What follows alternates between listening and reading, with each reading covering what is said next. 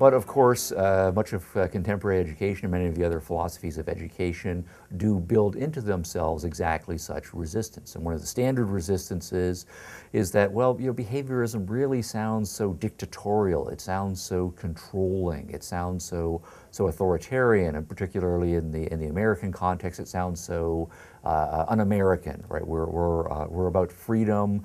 We're about the inner dignity of all human beings, and so uh, education that bills itself as authoritarian and controlling certainly goes against the grain here.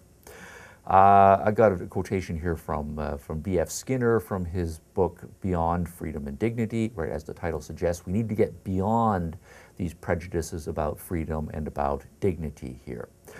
Quote, defenders of freedom and dignity want to escape from the charge that they are controlling people uh, unquote. And to the extent that we think that it's a bad thing to be controlling people, that that's a charge, then that sets us up for resistance to try to soften the message. But from the behaviorist perspective, to the extent that we soften the message, that we're just setting ourselves up for soft education, that is to say, ineffective education.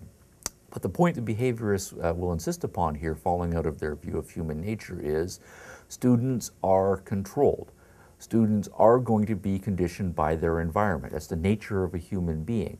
We are tabula rasa. We are plastic. We are born into an environment, and depending on what the prevailing uh, environmental stimuli are, what the strongest uh, uh, conditioners we are exposed to, those are the things that are going to dictate the kinds of behaviors that are reinforced, and so dictate what kinds of human agents we are going to turn out to be.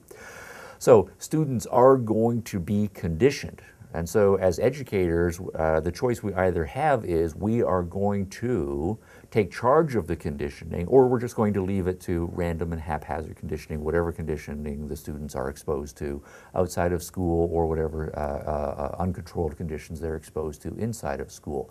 But those latter choices are simply to abdicate our responsibility as educators. Students are going to be conditioned. Our professional job is to control the conditioning, uh, control the stimuli so as to achieve the, the desired results.